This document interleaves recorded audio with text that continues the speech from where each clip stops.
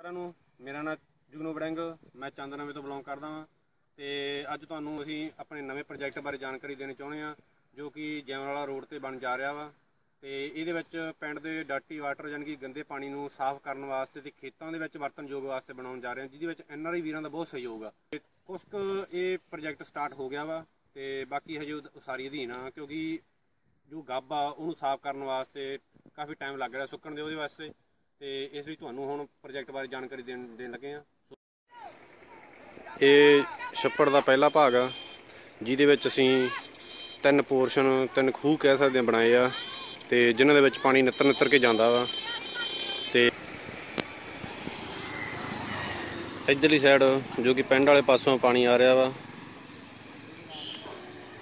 ਤੇ ਆ ਪਹਿਲਾ ਖੂਹ ਜੋ ਕਿ 9 ਫੁੱਟ ਦਾ ਹੈ।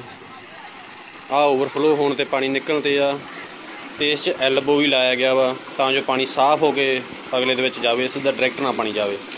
ਇੱਧਰ ਦਾ ਪਾਣੀ ਇਹ 'ਚ ਪੈ ਰਿਹਾ ਵਾ। ਉਸ ਤੋਂ ਬਾਅਦ ਤੁਸੀਂ ਦੇਖੋਗੇ ਕਿ ਦੂਸਰਾ ਖੂਹ ਹੈ ਜੋ, ਇਹ 8 ਫੁੱਟ ਦਾ ਹੈ। ਇਹਦਾ ਜੋ ਸਰਕਲ ਆ, ਉਹ 8 ਫੁੱਟ ਦਾ ਹੈ।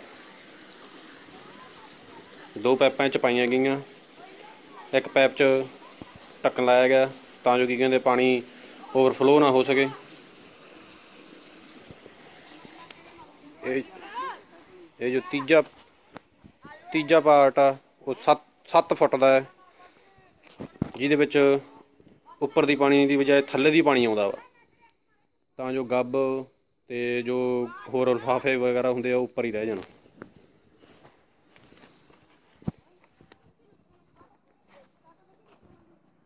ਆ ਹੁਣ ਤੁਸੀਂ ਪਹਿਲਾ ਭਾਗ ਦੇਖ ਰਹੇ ਆ, ਜਿਹਦੇ ਵਿੱਚ ਤਿੰਨਾਂ ਖੂਹਾਂ ਦੇ ਬਾਅਦ ਪਾਣੀ ਜੀ ਚੱਗ ਡਿੱਗੂਗਾ।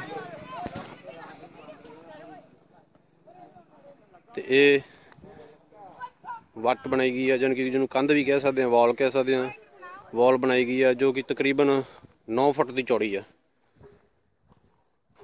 ਇਹਦੇ ਉੱਤੇ ਹੁਣ ਉਸ ਤੋਂ ਬਾਅਦ ਦਰਖਤ ਵੀ ਲਾਏ ਜਾਣਗੇ, ਤਾਂ ਜੋ ਗ੍ਰੀਨਰੀ ਰਵੇ ਤੇ ਘਾਹ ਵੀ ਲੱਗੂਗਾ।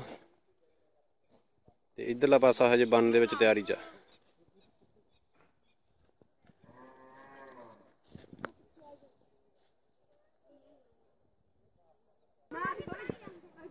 ਹੁਣ ਤੁਸੀਂ ਦੇਖੋਗੇ ਕਿ ਇਹਦੇ ਨਾਲ ਹੀ ਤੁਹਾਨੂੰ ਪੂਰਾ ਉਹ ਡਿਜ਼ਾਈਨ ਕੀਤਾ ਹੋਇਆ ਇੱਕ ਪਿਕਚਰ ਵੀ ਆਊਗੀ।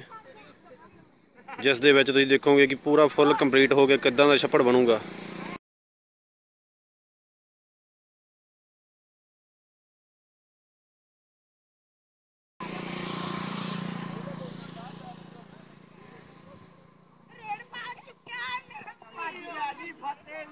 ਬੱਚੇ ਖੇਡਦੇ ਵੀ ਆ ਓਏ ਬਈ ਬੱਟਾ ਤੋਂ ਲੰਘ ਗਿਆ ਲੰਘ ਗਿਆ ਲੰਘ ਗਿਆ ਲੰਘ ਗਿਆ ਵੀ ਜਾ ਹਾਏ ਚੰਦ ਦੇ ਮੇਰੇ ਵਿਦਿਆਰਥੀ ਖੇਡ ਰਹੇ ਨੇ ਇਦਾਂ ਦੇ ਤਕਰੀਬਨ ਤਿੰਨ ਹੋਰ ਕੰਧਾਂ ਤਿਆਰ ਹੋਣਗੀਆਂ, ਜਿਨ੍ਹਾਂ ਦੇ ਉੱਤੇ ਦਰਖਤ ਵੀ ਲੱਗਣਗੇ ਤੇ ਹਜੇ ਵਿਚਾਲੇ ਕੀ ਇੱਕ ਬੈਠਣ ਵਾਸਤੇ ਕਨੋਪੀ ਵੀ ਲੱਗੂਗੀ। ਜੋ ਕਿ ਤੁਸੀਂ ਵੀਡੀਓ ਵੇਖੀ ਆ, ਇਸ ਵੀਡੀਓ ਦੇ ਵਿੱਚ ਜਾਣੀ ਕਿ ਜੋ ਵੀ ਕੁਝ ਦਿਖਾਇਆ ਗਿਆ ਵਾ, ਇਹ ਜਾਣੀ ਕਿ ਵਧੀਆ ਪ੍ਰੋਜੈਕਟ ਬਣ ਰਿਹਾ ਵਾ, ਤਾਂ ਜੋ ਪਾਣੀ ਸਾਫ਼ ਹੋ ਸਕੇ ਤੇ ਖੇਤਾਂ ਵਾਸਤੇ ਵਰਤਨਯੋਗ ਵੀ ਹੋ ਸਕੇ। ਤੇ ਇਹ ਚ ਐਨ ਆਰ ਆਈ ਵੀਰਾਂ ਦਾ ਸਭ ਤੋਂ ਵਧੀਆ ਸ- ਵੱਧ ਸਹਿਯੋਗ ਆ ਤੇ ਬਹੁਤ ਹੀ ਵਧੀਆ ਉਪਰਾਲਾ ਕੀਤਾ ਉਹਨਾਂ ਨੇ। ਜੋ ਕਿ ਪਿੰਡ ਵਾਲਿਆਂ ਵਾਸਤੇ ਜੋ ਇਹ ਉਪਰਾਲਾ ਸਦ, ਉਹਨਾਂ ਦੇ ਉਪਰਾਲਾ ਸਦਕਾ ਹੋਇਆ ਵਾ। ਤੇ ਇਸ ਦੇ ਵਿੱਚ ਇਹੀ ਹੈ ਕਿ ਪਾਣੀ ਦਾ ਨਿਕਾਸ ਆ ਜੋ, ਉਹ ਵਰਤਨਯੋਗ ਹੋ ਸਕੂਗਾ। ਨਹੀਂ ਤਾਂ ਪਾਣੀ, ਇਹ ਪਾਣੀ ਇੱਥੇ ਖੜ ਖੜ ਕੇ ਬਹੁਤ ਹੀ ਬਿਮਾਰੀਆਂ ਪੈਦਾ ਕਰਦਾ ਵਾ। ਤੋ ਮੈਂ ਹੁਣ ਤੁਹਾਨੂੰ ਸਾਰਿਆਂ ਦਾ ਧੰਨਵਾਦ ਕਰਨਾ ਚਾਹੁੰਦਾ, ਐਨ ਆਰ ਆਈ ਵੀਰਾਂ ਦਾ। ਤੇ ਸਭ ਨੂੰ ਮੇਰੀ ਫਤਿਹ, ਮੇਰੀ ਸਤਿ ਸ੍ਰੀ ਅਕਾਲ ਪ੍ਰਲ- ਪ੍ਰਵਾਨ ਕਰਨੀ। ਤੇ ਤੁਹਾਨੂੰ ਹੁਣ ਜੋ ਦਿਖਾਇਆ ਪ੍ਰੋਜੈਕਟ, ਇਹਦਾ ਬੋਨਿਆਂ ਨਾਲ ਛੱਪੜਾ। ਤੇ ਸਾਫ਼ ਸਫ਼ਾਈ ਵਾਸਤੇ ਪ੍ਰੋਜੈਕਟ ਚੱਲ ਰਿਹਾ ਹੈ। ਧੰਨਵਾਦ ਸਾਰਿਆਂ ਦਾ।